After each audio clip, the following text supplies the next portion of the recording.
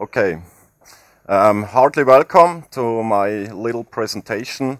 Um, I would like to start with an expectation management. So this isn't anything real new. It is just an introduction. I started six months ago with that kind of topic and uh, do not expect uh, mind-blowing stuff yet. That I reserve for next time, probably at Hash Days 2013. And uh, I somewhat sucks at presentations, so do not expect very clearly ordered slides or so. Um, just excuse myself. so yeah, we will just skip that. Uh, yes, I work as a penetration tester, IT forensics, uh, security specialist, got some certifications, degrees, and yes, I do some stuff. But uh, the reason for this talk is the Berlin Sites talk of uh, Felix Lindner, FX, which uh, he stated the wish that more people from the community would join this topic. And so I saw, yeah, why not? I already have some radio background, but just from the military side in Switzerland. So uh, this would be fine to start with that topic. Um, as usual, nights of research, I gathered about 3.6 gigabyte of public data. Um, speaking of videos, how to do things, frequency lists, everything publicly available. And um, yeah, I started just, so not yet fully there where I wanted to be, but uh, let's fasten the seatbelts for a short trip to space. Um, first, we will just talk a bit about what's this satellite topic all about. Then I will just uh, only uh, show us a few things about equipment. Then we will talk about satellite hackers and some future outlook. Um, I did so for every piece of hardware I bought. Yes, please. Oh, yeah. Yeah, this had to do something with the resolution. I couldn't solve it before. But uh, they're public even, so don't, don't mind. um, yeah, in the annex you find the hardware pieces described with uh, the price tags as well and what they're capable of. This might be helpful if you want to start to dig into that as well. Um, yeah, I will skip some of the things here just uh, because we're just running out of time otherwise. Um, interesting is that's a Latin word and it's uh, Etruscan origin around 500 BC. The Etruscans uh, invented the term bodyguard and this is where satellite comes from originally.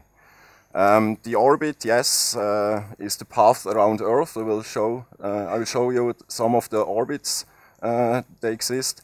And you have, can have several payloads. That's the satellite function itself. Downlink, that is the communication from the satellite down. This is the interesting piece per, because sometimes there is uh, interesting data transmitted there. And uplink even is more interesting because uh, commands are sent up normally. And footprint, this is a term I need shortly to explain because um, satellite, especially DVB transmissions, are directed transmission to a certain region. And if you are in the best uh, receiving region, then you can have a much smaller dish to receive the signal. Uh, the more far you are uh, out of the center of the footprint, you need larger disc, uh, dishes. So uh, this small dish is just a camping dish and uh, I blew it already up a bit because uh, you need to target very precise with the small dish to get really a signal. But uh, yeah. Launch, this is when the satellite is brought into orbit. Uh, perhaps the other, uh, some of the people here already know the VSAT. There is uh, even dish-to-dish -dish communication possible for remote locations, for example. Then if you catch um, moving objects, even with radio transmissions, you need to correct for the Doppler shift. If the satellite is coming to you, towards you, then you need to get a higher frequency to get the signal correctly. And if it's going away from you, then you need to turn it down, the frequency. So uh, this can be very challenging, uh, especially thinking about a seven minute time frame where the satellite is available. You need to do everything right, otherwise you will fail and I failed a lot. You can't believe me. then, yeah, we have things like uh, biggest distance to Earth and smallest distance to Earth. Uh, we will come to that later on. And very interesting, we have these TT&Cs, the telemetry, tracking and command centers. This is an example in Switzerland. Um, yeah, I will not talk too specific about that. This is a link in Wikipedia. Um, this is related to some surveillance system in Switzerland, but it's public, so you can read it on Wikipedia. Very interesting. The first satellite was uh, got up in orbit in 1957 by the Russian. They uh, shocked the Americans because uh, they were in competition which one was first in, in the orbit. Then we had several other satellites. The first geostationary, uh, speaking, moving exact in the same speed like the Earth turns, so it stays always over the same location, um, was at 1963. And the first Swiss satellite is uh, since 2009 in orbit. That's a Swisscube. It's uh, also capable of a ham amateur radio. And yes, you already heard about the Mir station probably, which was uh, crashed in 2001. And now the IIS uh, is another example of a very big object traveling through uh, around the Earth. So yes, we have uh, numbers. But yeah, I would say these numbers need to be uh, watched very carefully because there might be some dark uh, shifers behind because not every satellite which is launched in orbit will get into the statistics. Uh, speaking of secret military projects and things like that. You also can have multiple payloads. Speaking, you have one launch uh, with several satellites in it and nowadays it's about 3,000 satellites are living. Also here the number, yeah, just it's an approximately uh, number, not a correct one. What's very interesting, and this has much to do with security, the lifespan for a satellite can be up to 20 years. And if you call, calculate now the back from 2012, 20 years, did everybody implement encryption by 1992? Hmm, I don't know. And also there are about 20 countries in space and we have several launch sites. I will skip that because uh, you can read that for yourself later on, uh, offline probably. Interesting is that even uh, Iran has now two satellites in orbit, as I heard. Um, it's hardly to prove, but uh, there might be some interesting things happen as well, also related to North Korea. But this is just we don't talk about politics here.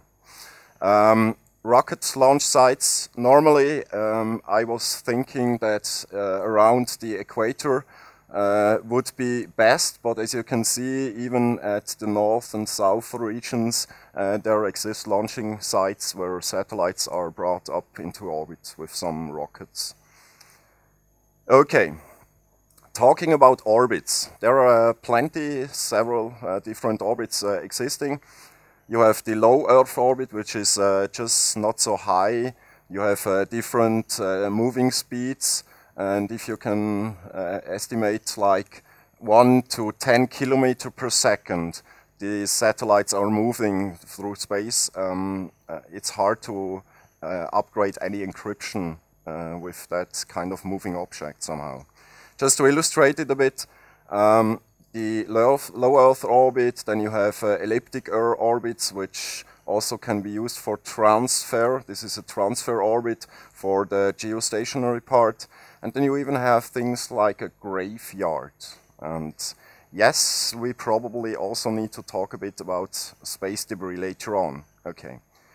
Um, for real have a tracking of these satellites, you know, have to have a lot of uh, different calculation possibilities. This broke my mind first. Um, just uh, I missed too much classes probably in youth, so um, it's very hard to calculate that. But uh, you can have this as a software tool already fixed uh, for usage, and yeah, that's okay. Physics, yes. We won't go into detail, just good to know if the object is near Earth in an elliptic orbit, it will move faster here because uh, the gravitational force is uh, much stronger the nearer the uh, outer object is. And here at the apogee, the movement is relatively slow. And you have this gravitational force which pulls in direction to Earth, and you have the moving force from the centripetal, which from the moving around it. So they're somewhat not yet, uh, not not always really stable in the in the orbit, and this might also offer some possibilities to uh, play around if you can change orbits, for example. We will see some of the possibilities later on. We have several types of satellites. Um, yeah, communication, navigation, GPS. Almost every smartphone has a GPS uh, uh, you know, receiver in it. So also imagery, you can make uh, very good pictures out from outer space, uh, from Earth, also for reconnaissance and espionage. What's very interesting is also there existing anti-satellite weapons, this, or killer satellites.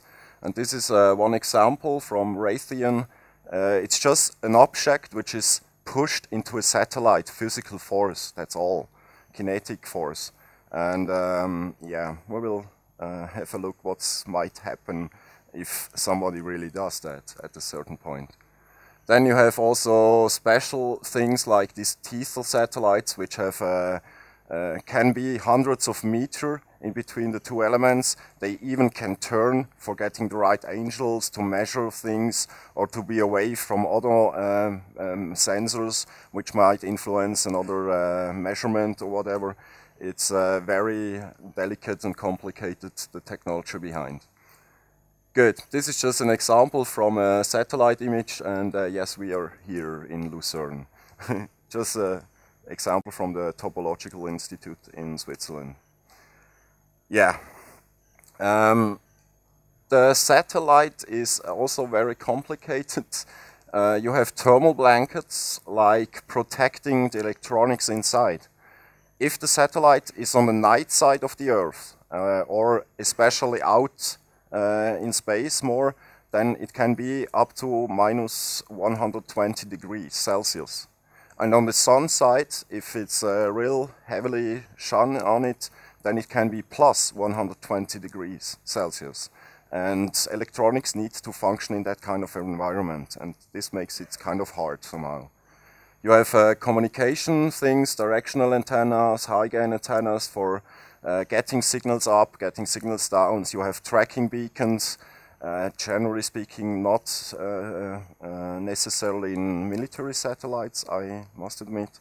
Um, and you have things like star trackers, where the satellite has some uh, device which is directed into the stars, and this device can uh, estimate if the angle of the satellite is correct. And then they have momentum devices which can correct even physically the satellite's position that he has uh, the right position for sending, uh, for example, DVD, DVB broadcast or something like that. If you get bigger objects, of course, it gets more complicated. Um, I will not go through the details, but just to get an impression, um, a normal satellite might be just this big or even slow, uh, um, not that big, but the whole thing together is uh, enormous complex. Good. Now we're talking shortly about uh, dependencies. In finance sector, you have uh, backup of transaction links for financial transactions. In communication, you have backup of mobile and internet links. If uh, some ship uh, anchor is scratching the undersea cable somehow, it might go uh, fallback over satellite, for example. You have the branch offices, internet access, you have transportation, also uh, the logistics, depending heavily on satellites. You know these shipping containers, and uh, where uh, things from China get to Europe and vice versa. These are tracked by satellites and normally speaking also X-25. So yeah, you see there are plenty of opportunities. military, yeah, um, we will uh, look at the frequency, frequency list for military satellites later on. Uh, I make a very cool uh, detection of a name which might be familiar to all. Then news and weather forecast, but also weather forecast. Um, I will come to that later. Um, you can do things as well with uh, older American forecast satellites. Um, you have video telephony, geology, astronomics, a lot of uh, branches might be involved in or depend on satellite technology. A bit more precise, not going into detail, just to show you, yes, GPS everybody knows, Galileo probably also everybody knows, GLONASS, that's the Russian GPS system. Then you have COMPASS, this is the Chinese GPS system. And then you have IRNSS, this is the Indian GPS system. So you have several uh, things which do exactly or more or less the same. Um, I will need to investigate in that later on probably as well. The Iridium and Inmarsat, uh, as we can see later on as well, they were broken last year at the CCC, if I remember correctly, from uh, German guys. So yeah, there might be opportunities for everybody. Talking about space debris. Yes, we have a lot of things traveling around the Earth. Uh, this is just a visualization about 22,000 uh, objects.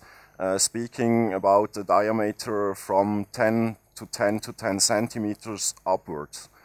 Um, if you go a bit more in detail, then uh, you don't see the Earth anymore. Um, luckily, some university in Switzerland, Lausanne, did uh, develop a cleaning satellite. I got a news uh, notice uh, two days ago that some satellite is able to catch this, uh, this uh, shit in the in the orbit somehow and bring it down uh, into the atmosphere where it just uh, got lightened up and it gets destroyed. But this might be a real problem uh, if you look what it might have as an impact in uh, spacecrafts from the American, which are no longer in use, but this is a front window and these are just dust particles imagine what might uh, come if you uh, take a baseball or something like that, even bigger. Yeah, good. Speaking about tracking, this is a very cool tool, uh, almost not visible as I must admit. It's gPredict, where uh, the, you can update the database with the TLE data, uh, where the satellite is all the time. You can have a location, this is Bern where I live, and then you have the horizon north-south. You see the line the satellite makes through the sky, and you have also the footprint information when it uh, comes into your range, and then you can have an interaction with it, uh, more or less long time. Uh, especially if they are low Earth orbit, you get six to seven minutes, um, and that's not much for getting something really useful. Yes, there are also other programs uh, for Windows, Orbitron, or even Predict for Linux. You can even go into the, the internet and having uh, lists of eight Excel sheets, whatever you can think of. Uh, there are more references in the annex uh, for those who are interested in this. Then talking about communication, yeah, these are the communication bands. Um, also here I will not go too deep into detail, just to see that it might cover from uh, 300 megahertz, even lower, up to 75 gigahertz. And uh, this range is very difficult to receive, to send on it and everything else. So I will stick to the, this kind of frequencies for the moment because uh, everything else is just a bit too cost intensive. Um, yeah, you see also Earth station frequencies. You have also different uh, up and downlink bands in gigahertz here. Um, this is just broadcasting. These uh, dishes are for DVB and the DVB is using gigahertz ranges of frequencies and uh, radio transmissions are generally speaking in the mega megahertz range. Um, so you need special equipment for either job you want to do. Good. Um, yeah, this is almost not visible, but this is just information about uh, what kind of conditions you have for ham radios. Also, it uh, gives you an information of you if you have uh, solar flares or geomagnetic changes which might influence your radio transmissions. Um, if the object is not geostationary, then it will move fast, as we saw before. And you have, as, as I said, 5 to 10 or 15 to 20 minutes for communicating with the satellite. And then you need to wait up to 19 hours until the satellite uh, is over the same location again. So I'm planning to perhaps use the Arduino board for making some antenna following objects device, which I just can put the antenna on it and then it will move the antenna like I need it for, the, for following the satellite.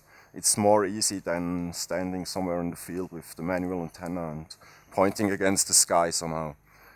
This double shift correction, I already uh, mentioned it, and yes, the space weather influence, this is uh, also to be respected, otherwise you won't get very poor results in capturing any communication. Good, talking quickly about the equipment. As I said, for every piece I have a special slide in the annex, and just to give you an impression, if I just listen to ham radio from satellites, you stand on a hill somehow like this, and then you follow.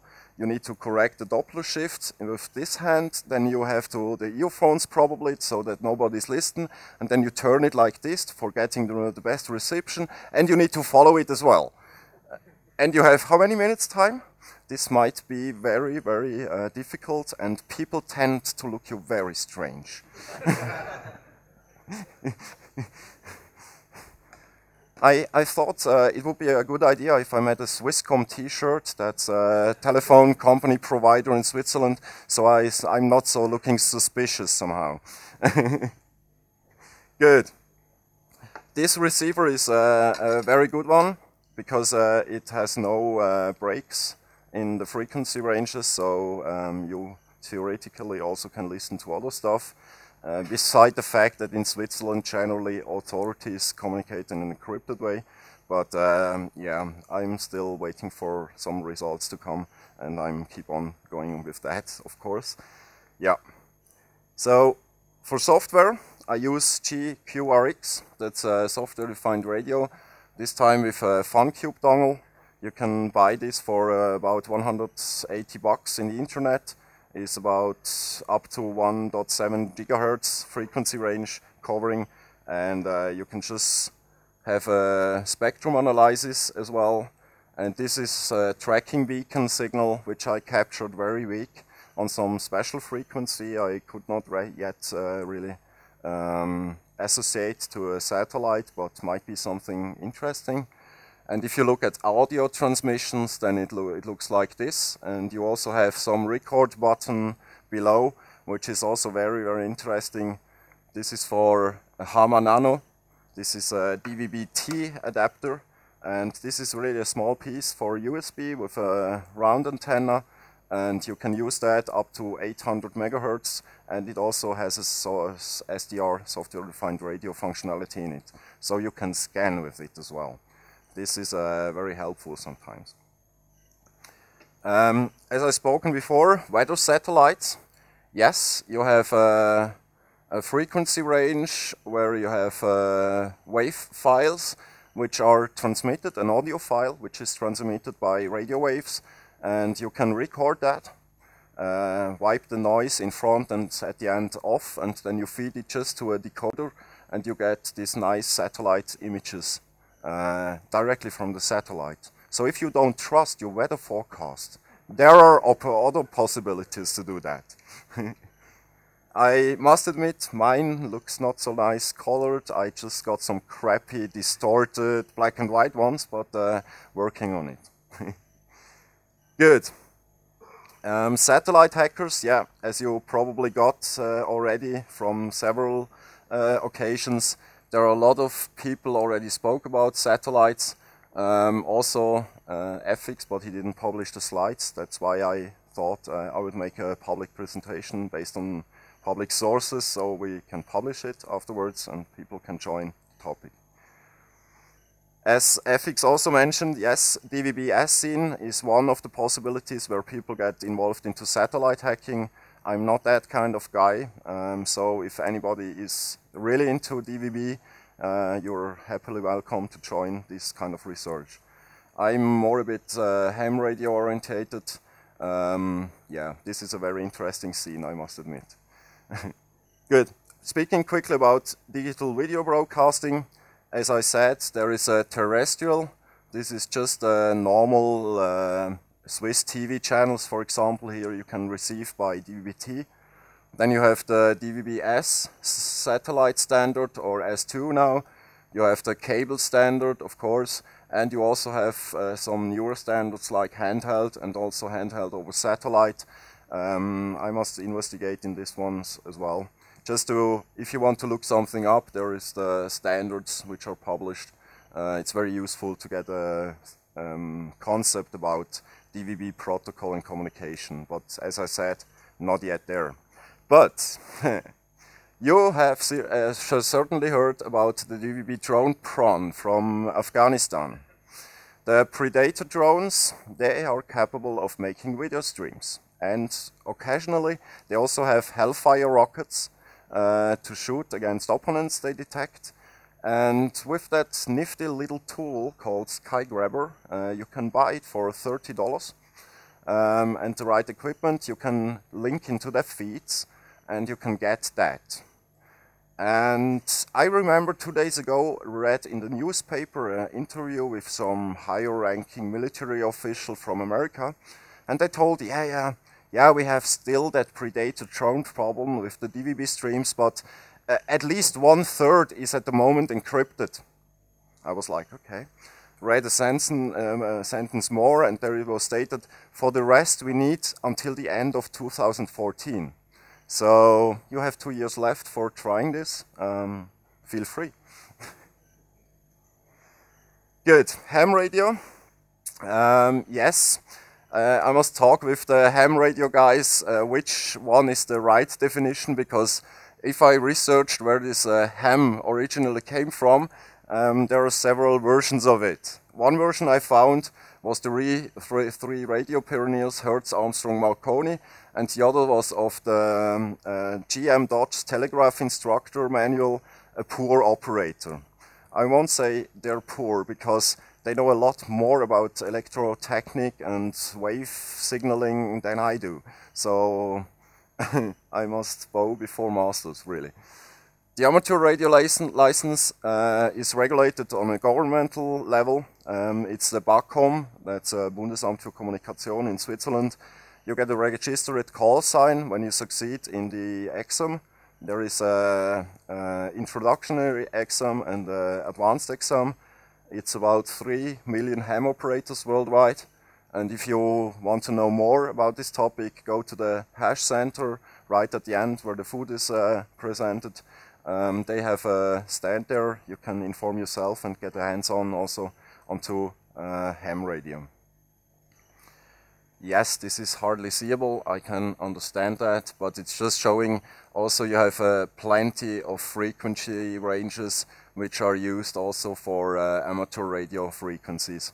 Uh, it's just interesting also zapping through and listen to people talking from continent to continent and things like that. It's very interesting. More interesting, I found lists like this one. And who spotted first? Did you read the name here? Skynet. Does ring a bell? You know what is called Skynet? That's the British Space Defense Program. Um, yeah, I was a bit, I was a bit scared, but uh, hopefully I have some time until next year to investigate that, where this comes from, and if the possibility is there that they will just nuke us out or something. Just remembered me for Terminator a bit too much. But uh, you find these lists on Satellitenwelt.de, uh, very interesting. You can zap to the frequencies and get a hands-on. Yes, hackers also do satellite projects. There is some uh, Moorsat project from uh, Austrian guys which do some uh, nano satellite, very small, with uh, art somehow. I didn't get the concept fully. More interesting is the Hackerspace Global Grid. You probably heard of that one uh, already. It's a fallback infrastructure and censorship avoidance where hackers will put satellites into orbit until, I don't remember the date, and uh, providing a fallback infrastructure if the normal digital world will fall. And for everybody into Arduino, yes, uh, there is a guy which already built a satellite tracker with the Arduino board, so this might be interesting for all the Arduino guys as well. Okay, then uh, I got a bit into press and I read a bit about what they state about satellites and uh, security. And yeah, especially the US um, are very uh, paranoid uh, for satellite hacking, especially that they had already some cases related to that. Um, just shows that the topic is somewhat a bit hot. Good. Talking about the about 10 threats I identified or can imagine what, yeah, what's possible to do. One is the tracking, as we saw. This is very easy. Everybody can do that. You download the software, you get the information update, and then uh, see when, where, which satellite is available. Listening, this is a bit harder. You need some equipment. By the way, everything which is standing here is about 1,000 Swiss francs. So even for a student might be feasible. And of course, these kind of antennas you can build yourself. I was just too lazy. Um, you need the right frequencies and especially down or uplink if you want to listen to, uh, listen to either communication. And probably you need to have the right location. Uh, sometimes there are satellites which just uh, turning around the pole and not coming down in direction of equator. So you probably need to travel more north to get a good uh, receiving. Interacting, this is a bit more difficult because um, if you want to send something to a satellite, you need a license. Okay, I, yeah, I'm that kind of guy which doesn't bother about license first. Then he makes some buy-ins from another country and you get the stuff and you go online and then uh, so two hours, no, not, not, not, not even two hours. It was half an hour to an hour later, some strange vehicle was driving through around the houses there with antennas on the top and I was like, oh no, I will unplug that quickly. and uh, I talked with some ham radio guys and they even have a, a detection system in Switzerland where they can detect uh, frequencies or sending devices very precise and very fast and I fell to that one. So first I will now make legally the license and then we will send a lot. the using, yes, of course, you can use a bird if you can take it over. You also can take over a TT&C center if you can achieve that, what some Chinese did uh, in uh, Swedish TT&C or Norway TT&C center and then he got full access to some satellites. And uh, yes, you can use the payloads, speaking of making pictures, transmit something, whatever you can think of. Um, no, I'm not yet there, but that would be the end goal. Scanning attacking, yes, that is a proof of concept already done by Leonardo. Um, it is possible scanning uh, over satellite links. You even can do uh, denial of service attacks and you can spoof. IP addresses. Uh, so this might be useful for uh, fundamentalist groups as well.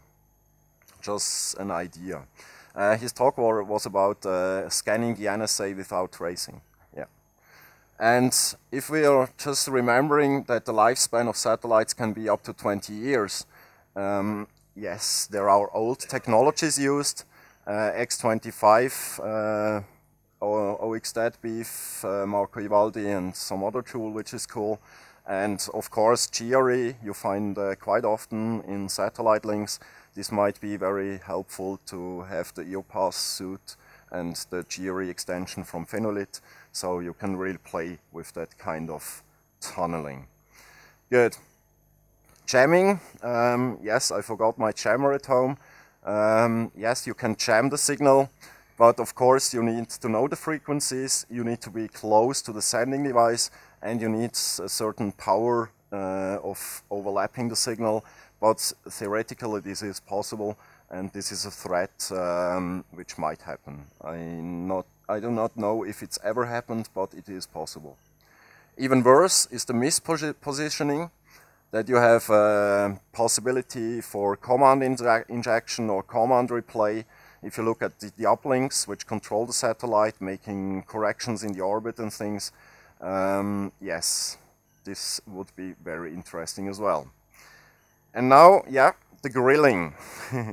this is very, very interesting. Satellites tend to have energy problems. Normally, if I track a satellite, I have a look, yes, okay, he's here in three minutes, and then I have six minutes time. That's enough for Googling the frequencies, then you have the frequencies, and then you have a remark, semi-operational. A semi-operational can mean that it's just capable to send something if it's on the sunny side, because the battery is weak and the solar panels need to be in the sun, that it's enough power there to send something. So engineers, especially uh, satellite engineers, tended to deploy more solar panels than needed.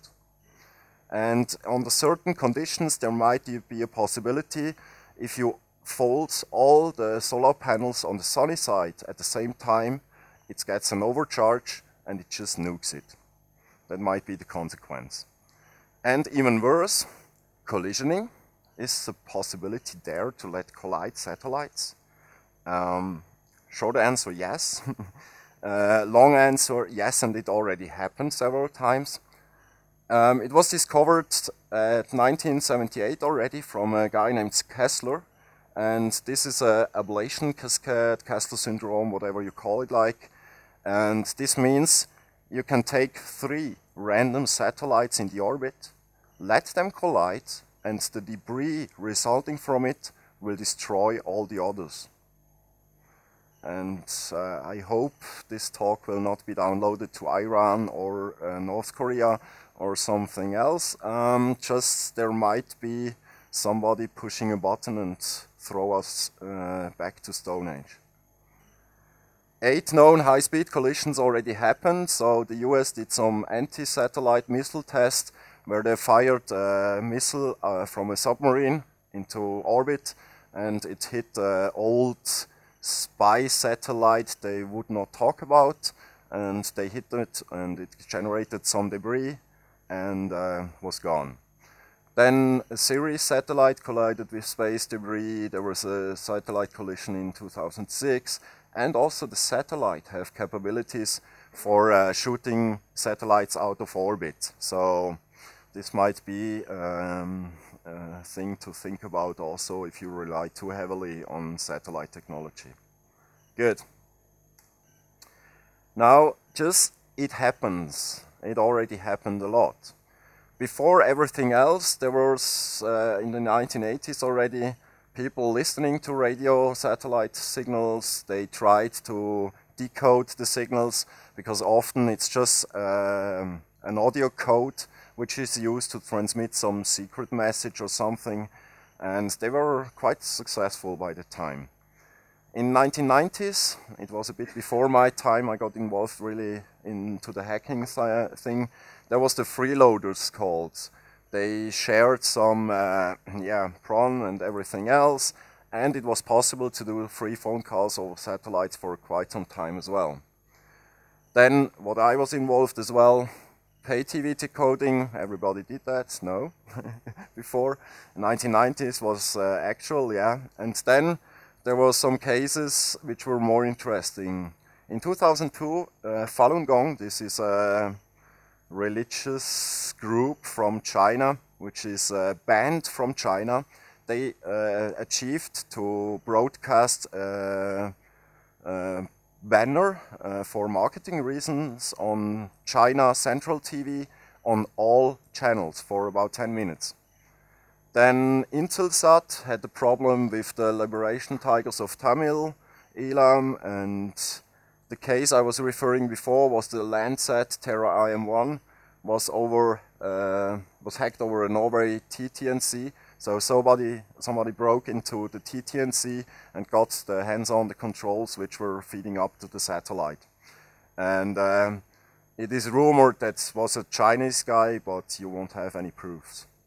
In 2009 it was very interesting because there were a lot of Brazilian hackers on FLTSat 8 and they're just talking about soccer. soccer games. I was really, and the Predator drones, yes, of course, and some other things. Probably there is list is not complete because there are probably more uh, things happening, but just not getting it into, into the press. But uh, yeah, my goal is to take over one, but I don't know if it's really an achievement worth of it at the end. Good. Yes, we need to talk quickly about politics as uh, US got some problems nowadays. They did stop the shuttle usage uh, because of costs and accidents in 2011 and now they get logistics over the SpaceX Dragon uh, was talked on last week about and uh, this is just a US private organization. Uh, probably the Americans can handle that. What was more interesting that they're also using Soyuz spacecrafts from Russia. Isn't that some uh, interest conflict somehow? Some uh, well, we gave our military spy satellites to some Russian guys which put it into the orbit. I don't know. But yeah, NASA plans to be back in space. Um, they want to have a space launch system in 2017 and even planning for a permanent moon base by 2024. This might be also very interesting, um, so more radio signals will travel around Earth and you will get known probably more things. Also, China plans an own space station and yeah, this might be interesting as well, uh, looking what the Chinese doing in the space. Good. My personal outlook, as I saw, uh, said, I'm not really long following this track yet. Um, but I'm not alone covering this topic, so it's a very highly complex tech, uh, technical field. You have merged technologies, you have physics, you have uh, electromagnetics, you have geomagnetics, you have uh, radio transmissions. It's very challenging. Um, I do not have yet so much proof of concepts, but uh, for 2013 hash days I will have, for sure, I promise that. And I'm preparing for the ham radio license and if you want to join, feel free to contact me, especially somebody with DVB experience in a deep level on protocols. So there is some time left. This was a rush through, I'm sorry for that, but uh, we have still some time left for question answer. Thank you.